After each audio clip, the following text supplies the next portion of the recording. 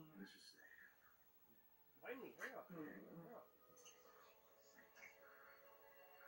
Although, I should probably go and figure out how a stone brought my boyfriend back in someone else's body.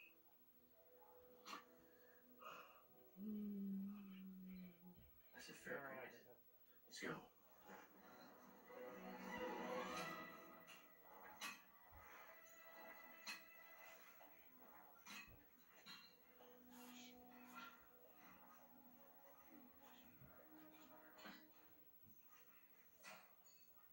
Get it started, get it started, get it started, get